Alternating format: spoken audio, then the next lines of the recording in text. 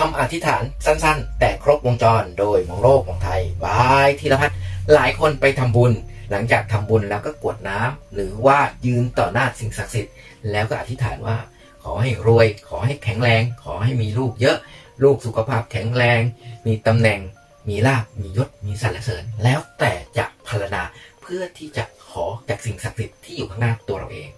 แต่ว่ามีวิธีง่าย ๆ จากคำแนะนำของหลวงปู่ดู พรหมปัญโย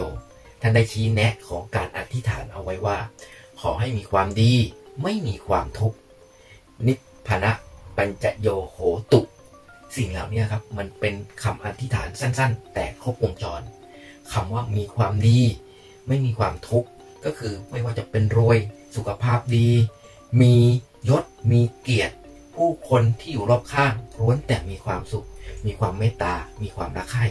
แค่นี้ครับ เราเองก็มีความสุขมากกว่าได้ลาบได้เงินทองอะไรเยอะแยะมากมาย สิ่งต่างๆ เดี๋ยวมันจะตามเรามาเองครับ เพราะฉะนั้นเราเองไม่ต้องไปอธิษฐานให้เยอะๆเสียเวลาอะไรมากมาย ไม่ต้องไปท่องจำเพียงแต่ว่าเราบอกว่าขอให้มีความดี ไม่มีความทุกข์เท่านั้นเองก็จบจากหลวงปู่ดูที่ท่านแนะนำมาจากธีรพัฒน์เกิดมาเพื่อแทนคนเกิดมาเพื่อแบ่งปันสวัสดีครับ